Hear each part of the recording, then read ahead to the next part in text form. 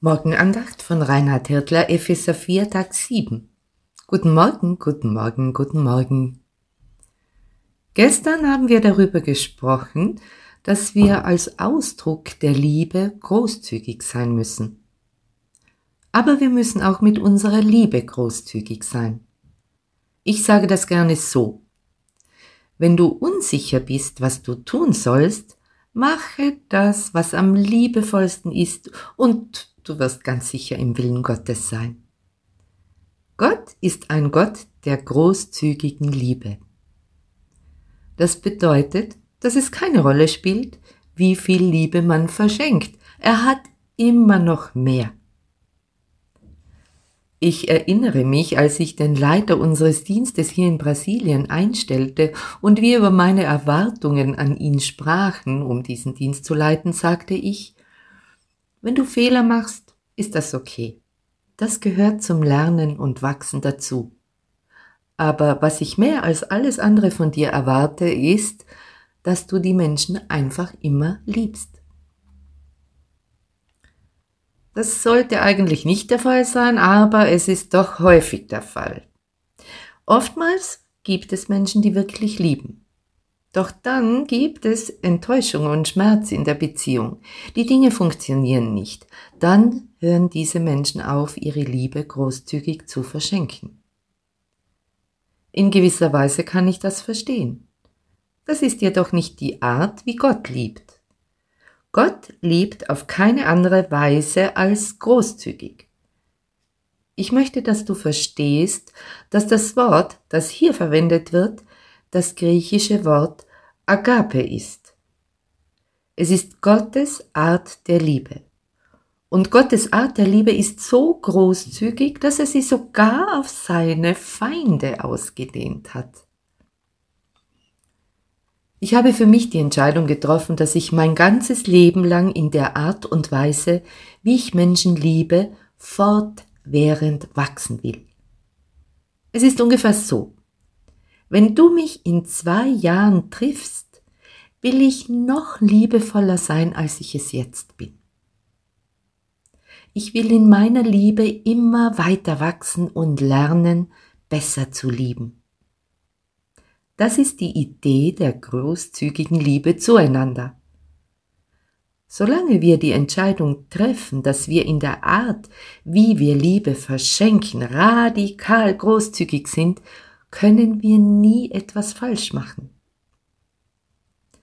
Dann gibt es hier noch ein weiteres Wort oder eine weitere Aussage, die wir beachten sollten. Paulus sagt uns nicht nur, dass wir mit unserer Liebe großzügig sein sollen, sondern er benutzt auch das schöne griechische Wort Allelon, das hier mit einander wiedergegeben wird. Ich habe einmal eine Studie über dieses griechische Wort gemacht und jedes einzelne Mal nachgeschlagen, wenn es irgendwo in der Bibel erwähnt wird. Ich persönlich bin zu der Schlussfolgerung gekommen, dass Allelon ein Wort ist, das die Gemeinde besser als jedes andere Wort beschreibt. Ich weiß, dass die Gemeinde eine Familie ist. Ich weiß, dass die Gemeinde ein Tempel ist. Die Bibel nennt die Gemeinde ein Feld. Die Bibel gibt eine ganze Reihe von verschiedenen Bildern von der Gemeinde. Aber nach meinem Verständnis beschreibt nichts die Gemeinde besser als Allelon.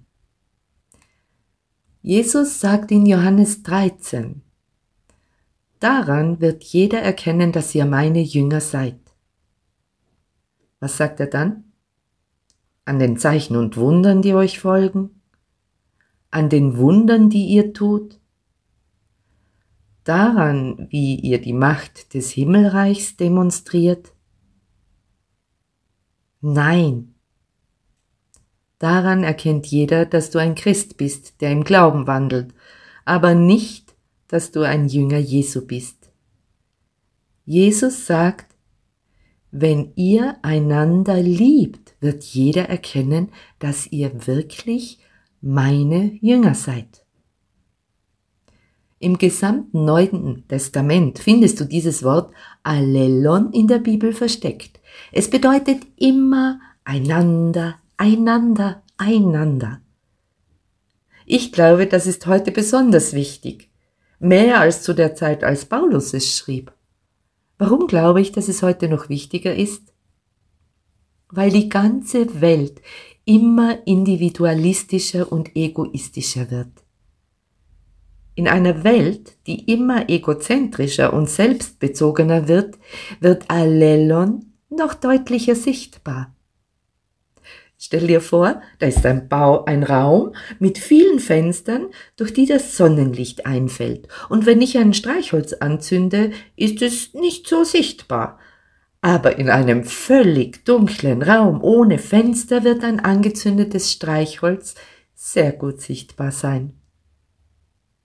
Allelon wird sehr sichtbar werden, wenn die Welt immer dunkler wird.